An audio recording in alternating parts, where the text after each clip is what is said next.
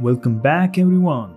For today's news, the previously announced Utawarerumono Mask of Truth anime is getting a July 2022 release date. A trailer and teaser key visual have also been revealed. Kenichi Kawamura is directing the anime with Studio White Fox producing it.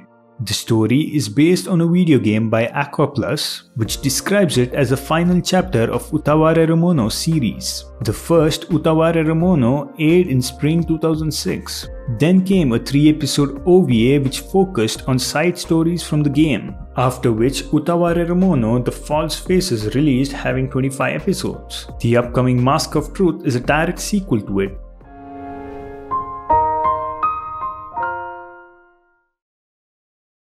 For our next news, Yatogame-chan Observation Diary anime series is confirmed to get a fourth season. The new season is set to premiere in April 2022. The cast from the first three seasons will reprise their roles, with Hayabusa Film along with cooperation from Creators in Pack producing it. The synopsis follows student Jin Kaito, who moves to Nagoya where he meets Yatogame Monaka, a fellow student who puts her Nagoya dialect on full display. With her cat-like appearance and unvarnished Nagoya dialect, Yatogame won't open up to him at all. The first and second seasons aired in 2019 and 2020 respectively, while the third season aired in winter 2021. Each season consisted of 12 3-minute episodes. The manga has 55 million copies in circulation including digital copies. Also, an interesting point is that the manga's title character was appointed as Nagoya Tourism Cultural Exchange Mission Ambassador in March 2017.